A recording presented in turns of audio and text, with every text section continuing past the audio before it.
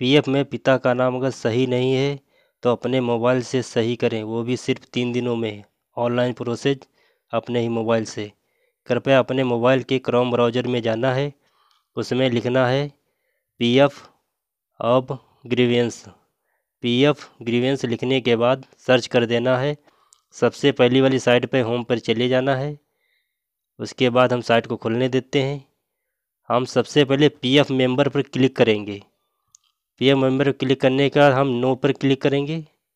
No पर click करने के बाद आगे का प्रोसेस करेंगे।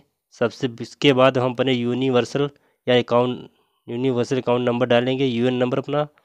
हम अपना यूएन नंबर फिल कर लेते हैं, जो बारह अंक का होता है। चलो हम अपना यूएन नंबर फिल कर लिया, उसके बाद सिक्योरिटी कोड कैप्चा भर लिया। भरने के बाद हम गेट डिटेल पर क्लिक करेंगे। उसके बाद मेरी डिटेल जितनी है, वो सब खुल के आ जाती है।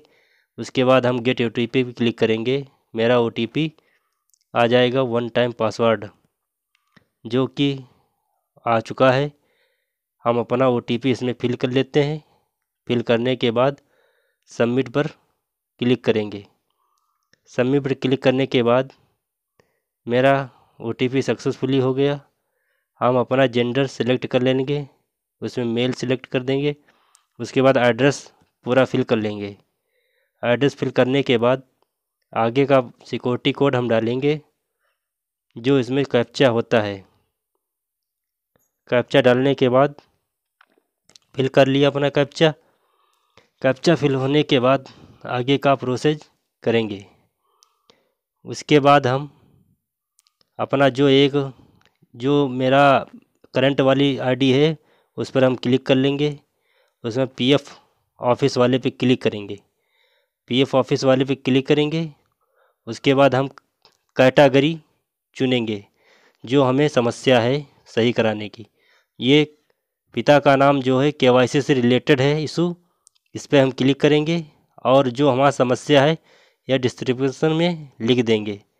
पिता का नाम जो गलत है, यहाँ पे अपनी PDF Aadhaar card, PAN card और वोटर आईडी ड्राइविंग लाइसेंस का पीडीएफ बनाकर अपलोड कर देंगे। उसके बाद हम ऐड पर क्लिक करेंगे।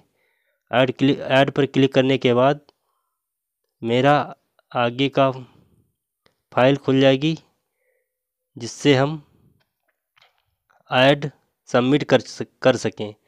सबमिट करने के बाद हमारा कम, तीन चार दिन में पूरा प्रोसेस कंप्लीट हो जाएगा। सबमिट कर देंगे, तीन चार दिन में कंप्लीट हो जाएगा। वीडियो अगर अच्छा लगे तो लाइक, सब्सक्राइब और शेयर ज़रूर कर देना। धन्यवाद।